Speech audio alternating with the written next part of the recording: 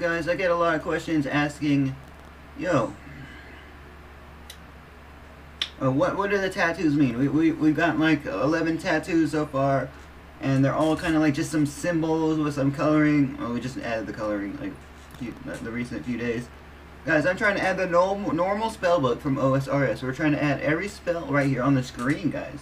We're going to try to make it as close to the original as possible.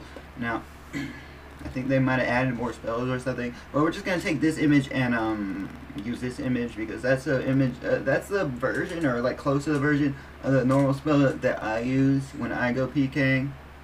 Um, and yeah, we're actually going to try and add all the coloring as well as a brown background right here. And the border around the brown background. You know how hard that is going to be for me as a new, new tattooer, guys.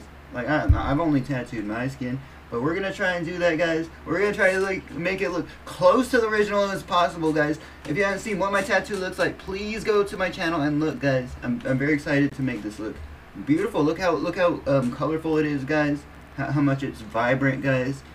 Uh, for me to get like you know I, I'd to order more colorings here because there's like different shades of red there's different shades of green here there's two different shades of green on the the, the earth bolt right here so and then they also shade in like the coloring on the inside and, and there's like some gray squares and there's some black squares so it's gonna be hard for me to uh, do that guys and especially because you know, I, I, I try I, I couldn't make it as small as uh, the image here, but you know maybe we could do that in the future. Maybe we can make them larger.